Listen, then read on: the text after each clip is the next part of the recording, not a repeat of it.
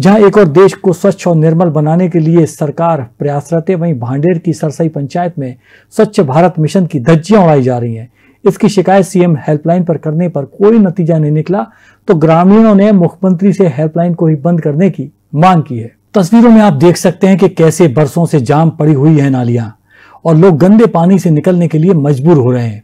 ऐसे में सवाल खड़ा होता है कि जब लाखों रुपए की राशि स्वच्छता के लिए दी जा रही है तो सरसई पंचायत में आखिर नालियाँ क्यों ब्लॉक पड़ी हुई हैं? वहीं जब इस समस्या को लेकर ग्रामीणों से बात की तो उन्होंने जमकर सरपंच और जिम्मेदार अधिकारियों पर जुबानी हमला बोला।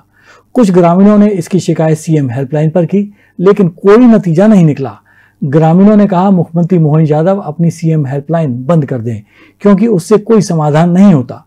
बिल्कुल नाली रंजा, जहाँ आए दिन पशु भैंसें गिर रही गंजा गिर रही हमारे को निकालने पर कई फ्रैक्चर हो रहे और पूरे चौमासन के घरन में पानी भर जाता गाँव की ज़िम्मेदारी जो सरपंच की है तो सरपंच अपने जो जीत जाओ चाहे सरपंच हो चाहे वे विधायक हो चाहे मंत्री हो जो एक बार जीत जाते वे दोबारा फिर लौट के नहीं देखा बस झूठी बातें झूठे वादे।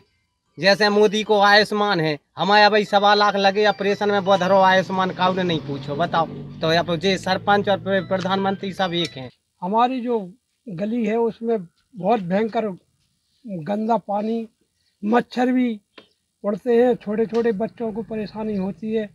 सरपंच से कहते हैं, सरपंच सुनते नहीं है। और कई बार कह दिया करवा देंगे, वो आज तक करवाया नहीं। और मुख्यमंत्री जी कहते हैं जे योजना चल रही है जे योजना चल रही है योजनाओं का जो कुछ पता ही नहीं चलता सरसई में क्या हो रहा है कि नहीं हो रहा है? कि हमारे ग्राम सरसई में आकर थोड़ा सा थोड़ा सा कुछ तो वो सहयोग करें हमारे ग्राम सरसई का। और आप बोलते तो हैं कि बड़ी बड़ी राशि दे रहे हैं जो दे रहे हैं लेकिन इतना भ्रष्टाचार हुआ है हमारे देश में मचा हुआ है कि ना कोई सुनवाई हो रही ना कोई कुछ हो रही है। बरसात के मौसम में घुटनों घुटनों तक पानी भरता हुआ है बहुत मुश्किल हो, हो होती है बट बरसात के मौसम में हम लोगों को स्कूल बच्चे भी बहुत मुश्किल से गुजरते हैं। घुटनों घुटनों तक पानी भर, भरा हुआ है। सरपंच का कहना है कि हमारे पास राशि नहीं है। और एक बात और, हमने पंचायत भवन में जो विकास यात्रा में सभी लोग मौजूद थे, उस टाइम भी ये बात रखी थी। तो उन्होंने कहा, ठीक है जी, हो जाएगी। और जी स्वच्छता अभियान इतना चल रहा है, लेकिन देखा जाए तो यहाँ तो सारा कचरा ही कचरा पड़ा है।